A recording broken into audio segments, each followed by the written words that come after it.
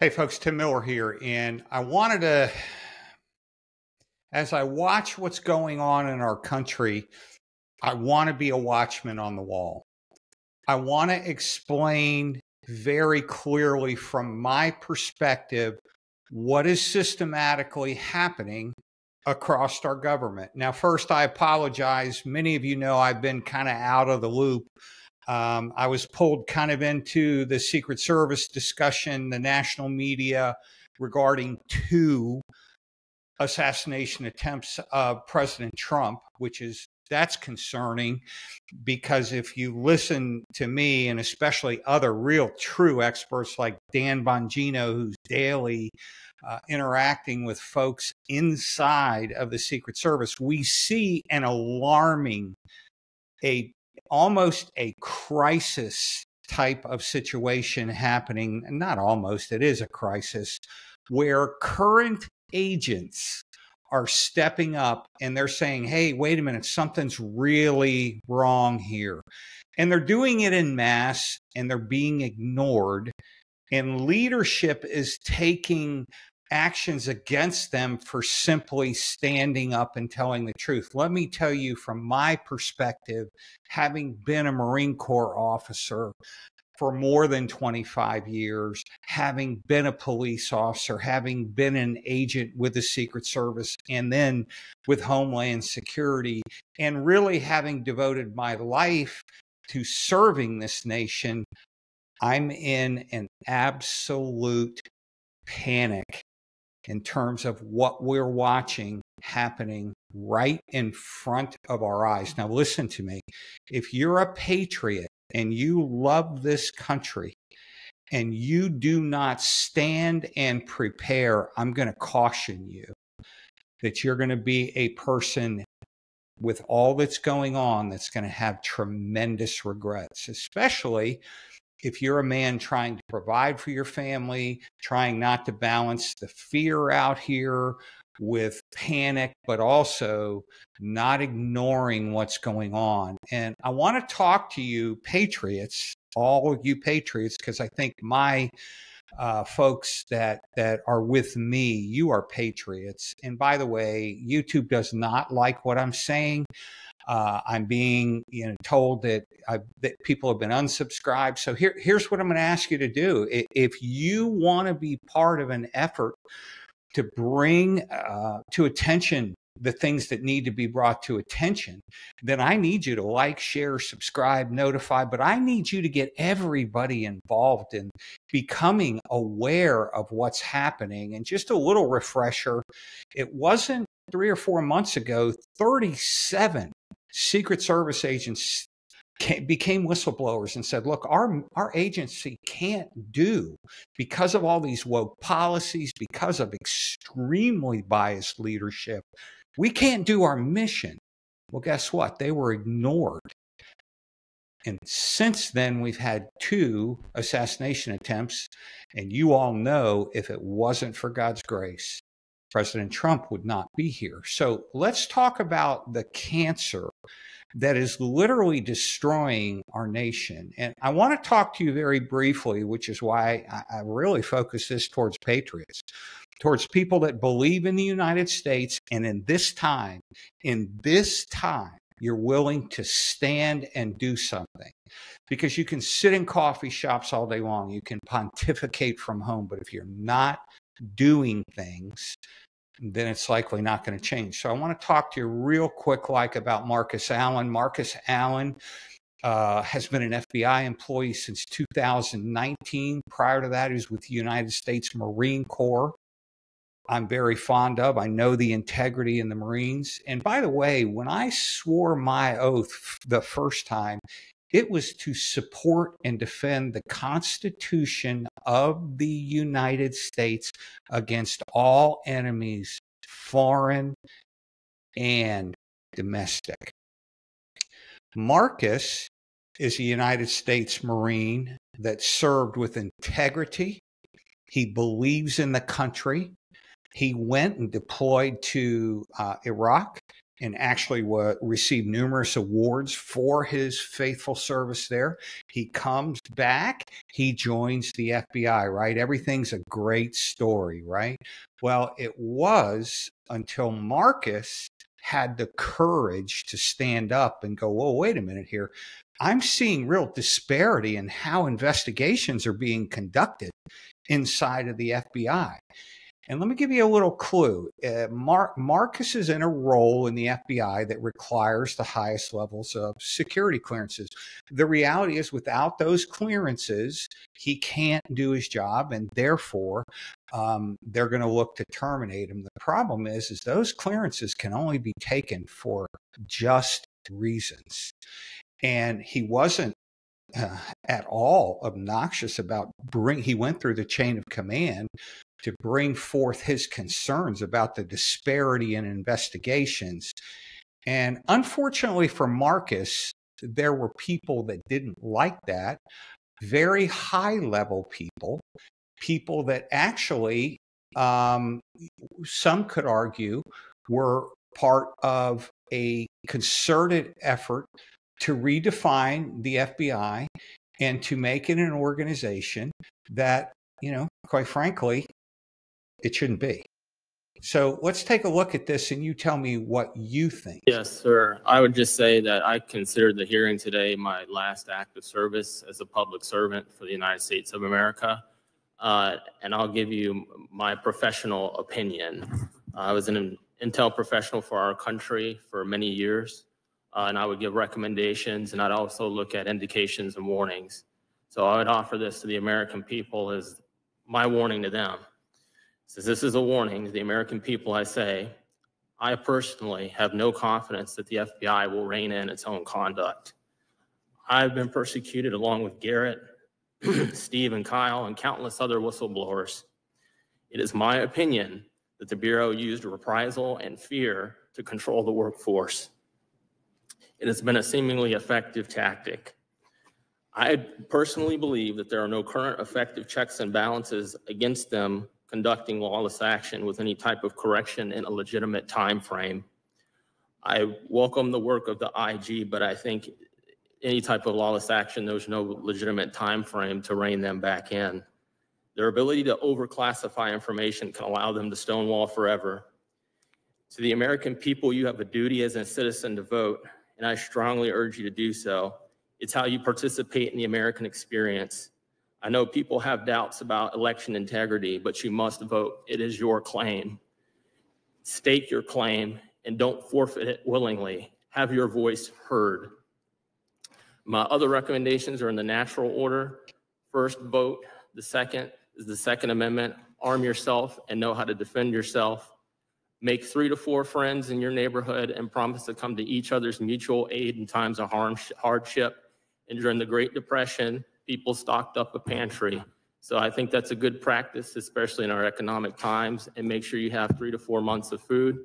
As a person of faith, I'd say pray the rosary, go to the First Friday devotions. That's for everybody, all my brothers and sisters of all faiths, and I know I'm Catholic, and read the gospel of our Lord and Savior Jesus Christ and live it every day.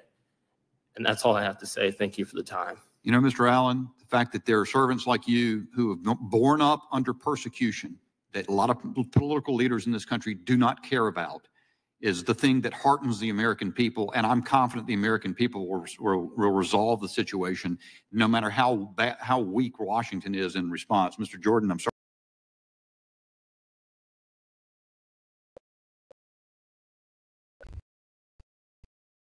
Do you hear what he said? He's an FBI operational specialist that has access to all of the classified material. He is a dedicated Marine. He's a man of faith, man of courage, man of valor.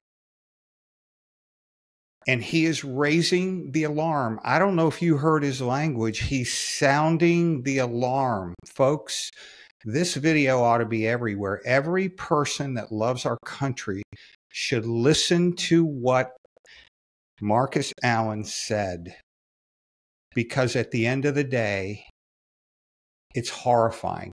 Let me tell you why it's even more horrifying. I don't know if you've been listening to the news, but Director Wray consistently has been like, hey, red lights flashing, red lights flashing, bad things are going to happen. Well, Marcus would have been in a position to observe all that information and then say, hey, wait a minute. We're focused on going after certain people on January 6th or Catholic priests, or we're devoting resources while ter- known terrorists have walked across our border, felons released from Venezuelan jails, violent felons have entered, Haitians have migrated in mass into cities that simply aren't prepared. And let me tell you, folks, I am not anti immigrant, but I'm anti people that hate our country. And unfortunately, an entire mass of people. There are ec- certain estimations regarding the number of Chinese age males that have come in. Why? Why would a Chinese age male come in, uh, or military age male? Why would he come in with a group apart from anybody in his family and then disappear? Why? What is going on? And folks, I want you to hear clearly from me. This should wake us all up to the seriousness of what's going on in our country. Now, here's the reality this video likely is not going to get out. And unfortunately, crazy videos with all kinds of socialist oriented propaganda, they go, you know, viral. But here's the point. If a few of us say, wait a minute, what did Mar- what did Marcus say again? He first sounded the alarm. Folks, let me be ultra clear. Ultra clear. He's sounding the alarm for tyranny. When the FBI or any other organization, the Secret Service, the Department of Justice, when they can exercise the power that we, the people, have given them to attack, constrain, and jail us, simply that's called tyranny. And you got a choice to make, folks. You everybody listening to this has a choice to make. You got a choice to make. It's kind of like my dad was a World War II vet. He had a choice to make. He could sit out and try to run or not really get involved in World War II, or he could step up and serve. And he stepped up and served with all of his heart. And because of his sacrifice and many millions like him, we have freedom today. But let me tell you, that freedom is not permanent. And a lot of what you and I do in this season right now is going to determine whether our kids and grandkids have freedom. Now, he, here's, if you listen, here's what Marcus said. He said the first thing we all must do is vote, most powerful tool we have. Folks, if you haven't voted or you have voted, uh, in the past, it's time to escalate our efforts. It's time to ensure that good people make it to the ballot box and that they vote for the candidates that are going to support freedom. They're going to support less government because we're seeing here we don't need more government. The government has power right now that's scary. You look at the FBI, you look at the FISA scandals, you look at some of the investigations that have occurred. And folks, I, you know, people say, oh, you know, you, you've just turned on the government. No, I, I worked there. I, I was a Secret Service agent standing next to the president. I understand the government, but the government that I worked for worked for the people we have to decide what we're going to do, folks. This is a sacred point in time. And so, what did he say? He said, we need to vote. He said, we need to speak out. How many of you all have spoken out for freedom for our country? How many of you all have gone to board meetings and said, no, this is wrong. This is evil. No. And then organized an effort to legally vote people out that aren't demonstrating the values of the people. He also said, exercise your Second Amendment right. Hmm. I got to tell you, folks, um, having been in very violent places and circumstances, if and when the violence that Director Wray is saying, red light flashing, we're already starting to see it. If that violence comes to your neighborhood, you need to be able to have the skills and the ability to protect yourself. Simple. End of story. You may say, Oh, I, have never been interested in having a weapon. Well, you might want to rethink that because if you don't, your family's at the mercy of those who do. And then what else did he say? Organize. Perhaps that's the most passionate plea that I have for you. It is time for us to organize in terms of being with like minded people, like he said, that have a mindset of helping and sharing and supporting each other in the midst of a crisis. He referred to the Great Depression. That was America during the Great Depression. But see, right now we're split. And oh, by the way, that effort to split and divide and make people angry, that's intentional.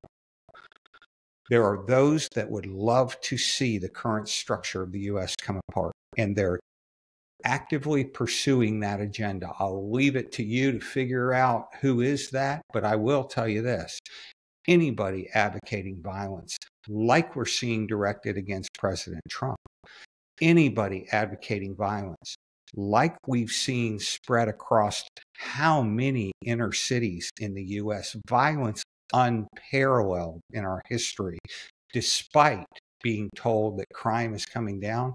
That's amusing when you talk to the Sheriff's Association. They have a very different perspective. And so, folks, I just want to encourage you.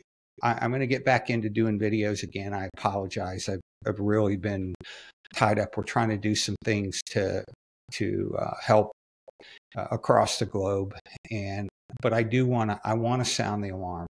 Please do not ignore this video. Please like, share, comment. Folks, I'm going to tell you, the parallel for me was when my dad told stories about those good people in Germany in the 1930s that sat by and watched power escalate and escalate, and the government became more aggressive, and they began to strip freedoms from from average people, and then they began to identify entire classes of people, Jews, homosexuals, across the board, as those people that don't deserve to live. Well, one of the reasons that Marcus was targeted was because he's a very faithful practicing Catholic. We've seen the FBI's bias in this. And folks, if anything else doesn't frighten you to the core, this should. Now, again, I don't know if this video will get out. I suspect it's going to cause a lot of attention, but I've been on national media a lot, you know, saying things that this government doesn't like. Uh, I will do everything I can do legally to vote and support the system that we have, but I'm also preparing folks, and now is the time to prepare. So I hope this is thought provoking. That's the purpose of it. I'm going to get back to practical things that we need to do to protect ourselves and our families. But let me be very clear as I close. The storm is not coming. It's here.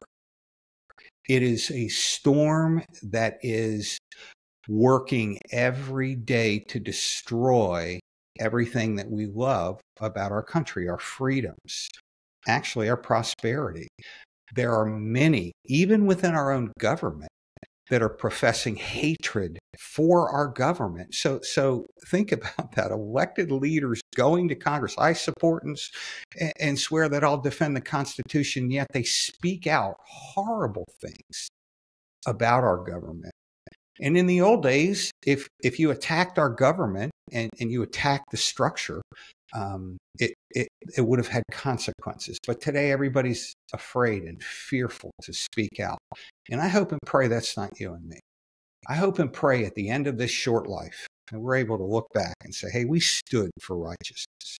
We stood for what was right, for freedom, and the ability to do what we were created to do without an oppressive government utilizing every bit of power it has like they did against Marcus Allen guy eh, they knew they knew they were going to attack him. They knew they were going to put him out on leave and guess what they did? They got him in the middle of a move where he didn't even have his household goods. They suspended him without pay for 24 months. And you know why? They said well they weren't sure that he wasn't a security risk. Really Really? Now think about that. So, folks, I hope and pray that this is helpful to you. Um, I really do appreciate your support and I thank you for your patience. And here's what I'm going to say don't flip on to the next video and watch it without thinking, okay, what can I do? Register to vote. Get with other like minded people and say, what can we do to organize in our communities? What do I need to do to be wise and prepared? One of the things he talked about was the importance of food and water and fundamental things. Folks, we're seeing this right now in North Carolina. What happens when everything is gone? Friend of mine in South Carolina, same thing. What do you do when all of this stuff goes away? Well, if you and I don't have a plan and we don't have stuff prepared, doesn't tend to go well. Tactical training, can't stress it enough man, make sure that you're prepared. Do yourself a favor too. Begin to work on your physical fitness. I don't care how old or how debilitated you may be. You can get out and walk and do things if you can. Think, keep your mind active, be alert in public, and all the things we talk about on this channel. So I hope and pray this is helpful. Um, I, I, will be doing more. Uh, please please like, share, subscribe, hit the notification button, and comment to me because I really hope that this will create a groundswell. Um, you know, I've, I've uh, in the national media, you know, whether it was Fox or international media, I've always tried to tell the truth because protecting an organization that is failing the American people is not good. you see, those organizations all work uh, for us, the American people. And we can never forget that because that's why we fled England in the first place.